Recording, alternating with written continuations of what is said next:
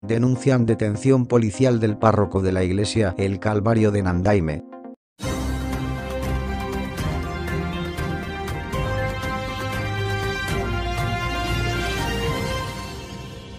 Dictadura vuelve a utilizar montaje contra sacerdotes y acusa a cura de Nandaime de golpear a una mujer.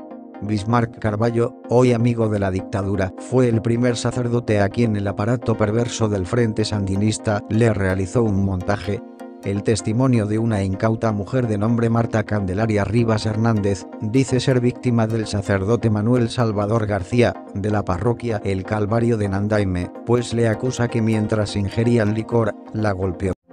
Déjanos tus comentarios, comparte y si todavía no se han suscrito a nuestro canal, te invitamos a que lo hagan para que estés al tanto de las noticias más relevantes del país. Somos Lo Último Noticias Nicaragua. Familiares del párroco Manuel Salvador García, de 56 años de edad, denunciaron que fue arrestado este miércoles por la policía, después que el religioso cayera en la provocación de un grupo de fanáticos orteguistas en las afueras del templo que administra, el párroco de Nandaime es el primer religioso detenido por la policía orteguista, después que el régimen de Daniel Ortega y Rosario Morillo emprendieran una persecución contra la Iglesia Católica. Anteriormente, la policía mantuvo sitiado al padre Arvin Padilla, párroco de la iglesia San Juan Bautista de Masaya. También mantuvieron rodeado al obispo de Matagalpa, Monseñor Rolando Álvarez. Según familiares del párroco de Nandaime, padece de diabetes y neuropatía crónica, razón por la cual temen que se complique de salud en las celdas de la Dirección de Auxilio Judicial, en Managua. Este lunes simpatizantes sandinistas provocaron al sacerdote frente a la parroquia que administra, hasta que este salió con un machete advirtiendo que no les tenía miedo. Pese a que el cura no salió de la parroquia, los familiares consideran que esta puede ser la razón de su detención, aunque en ningún momento puso en riesgo la vida de ninguna persona. Una fuente cercana al religioso dijo que el padre Manuel Salvador García fue detenido con lujo de violencia cuando junto a un sobrino se encontraba en casa de habitación en Carazo. En una serie de vídeos publicados en las redes sociales se puede apreciar al párroco responderle a los seguidores de Daniel Ortega y Rosario Morillo, con machete en manos, en el atrio de la iglesia que administra. La diócesis de Granada todavía no se pronuncia, tampoco la conferencia episcopal se ha referido al tema. Yo tuve el atrevimiento de que le cogí el celular y le miré un chat y lo malinterpreté, entonces yo le eché en cara eso a él y me dijo que era un atrevimiento, porque los celulares son privados, y me mencionó a mi expareja, declaró la mujer, claramente manipulada por medios oficialistas, que han publicado el discurso de odio de Daniel Ortega y Rosario Murillo contra los sacerdotes. Bueno, soy Marta Candelaria Ríos Hernández, con la edad de 44 años. Eh, soy madre soltera de dos hijos, Esmeralda Noemí Sánchez de 15 años, Alessandro José Sánchez Rivas de 11 años. Eh, vivo, habito en Liria y de la, dirección es de la clínica, de donde fue la clínica San Pedro, 150 varas al este. Eh, el, día, el día 30 de mayo fui a visitar, fui a, visitar a, este padre Manuel, ahí pues a la parroquia Nandaime Llega esto como de entre 4 y 5 de la tarde. Eh, Padre Manuel García. Entramos, comimos algo ahí y tomamos pues algo, algo de, licor. ¿Qué, licor tomaron? ¿Mm? ¿Cuánto tomaron de licor y qué licor era? Eh, era flor de caña, sí. A veces me tomé unos cuatro tragos.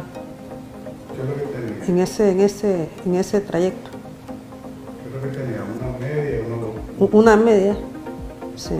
¿Y él cuánto tomó? ¿Ah? ¿Él cuánto se tomó? No sé, él estaba tomando más que yo. Pues ya más que yo, sí. De, después yo pues tuve la, el, el, atrevimiento de que eh, le, le, cogí el celular y, y miré un, un chat y lo malinterpreté. Entonces yo le, eché en cara eso a él y él pues me dijo de que qué barbaridad pues el atrevimiento porque los celulares son privados. Ella pues me mencionó, él mencionó algo pues ahí al, a mi expareja. Sí. De eso, pues, que no, no te veo reclamando de tu expareja, pues, nada de eso es. Entonces, de ahí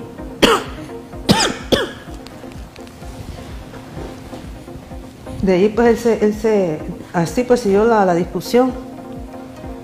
Pero mis hijos pues estaban adentro, ahí en el otro comedor. en eso, él sale pues a deseñabar el portón porque ya no, ya no íbamos a venir. y como yo voy detrás, voy detrás, pues entonces él este el candado, él pensó que el candado lo había dejado en la argollita y yo lo mismo, pues como iba detrás y estaba algo oscuro, él dice, a, a, eso, a eso veniste a visitarme, a eso veniste a visitarme, pues a, a reclama y todo eso, y en eso hizo así. Fue que me dio pues con la mano izquierda, llevaba el candado y fue pues que, que me reventó ahí. Aquí está, pues ahí esta parte, la, empecé a sangrar. Entonces cuando yo llamo a mi hija, Esmeralda, entonces ella se desespera y sale. Ella se desespera y sale Sale pues así a buscar ayuda, pues que mamá está, está sangrando. Pues ya la llevamos para adentro. En ya vamos. Y yo pues me metía, me metía adentro a, limpiarme pues la cara, ponerme este manzanilla o a manzanilla. Y en ya pero ahí al rato se escuchan dos bolonazos. Se escuchan dos bolonazos y yo pues estoy adentro en la cocina con mi hijo. Eh, y cuando escuchamos, están abriendo el portón, él ya iba con el, con el machete, pues que tiene vaina. Entonces en esta llevaba la vaina y aquí el machete. Empezaron pues a gritarle, que le decían pues asesino, decirle esas cosas, pues, que él hace padrecito. Pero llegó pues, llegó una patrulla y yo me quedé en el otro portón de atrás, atendiéndolos pues a ellos. Claro, yo con mi ojos aquí pues tapado. Entonces, este, di la declaración. Y ya pues ya este, dice, entonces trate de, trate de meterlo. Me dice la gente, trate de meterlo porque pues a mejor métanse para evitar. Y ya pues ya, se logró controlar y fue que nos metimos. Entonces él, él me dice, lo voy a dejar, pero yo no, le digo, no salgamos, digo, porque estos muchachos, pues como está agitada la cosa, puede pasar algo y no vaya a ser. Mejor permitirme pues que nos quedemos y ya mañana pues será, mañana pues ser otro día, pero ya el día siguiente, que él me vio así, me dice que me siento muy apenado, disculpame, es la primera vez pues, que pasa esto, pero viste pues cómo, cómo fue que se provocó tu reclamo, disculpame y, de verdad que me duele pues verte así, me duelen tus hijos porque te van a ver así, vos no sabes pues lo, lo que yo ando sintiendo porque no fue mi intención, porque si hubiese sido mi intención, yo te agarro y te doy de frente. Y el ojo, pues hubiera, te hubiera brotado el ojo. Pero démosle gracias a Dios que fue un arrebato que yo tuve así. Yo tuve así, pues, donde te.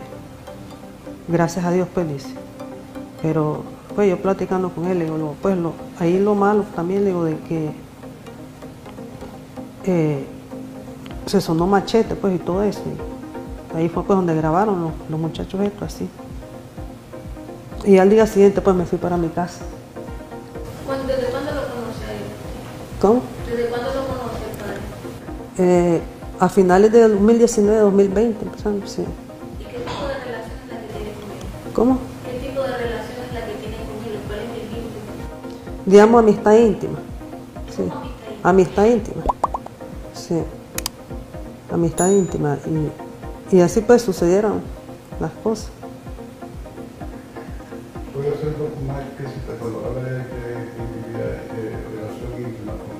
¿Mm? Sí, digamos, amigos, pues, amigos, digamos, íntimos. Sí. ¿Desde cuándo?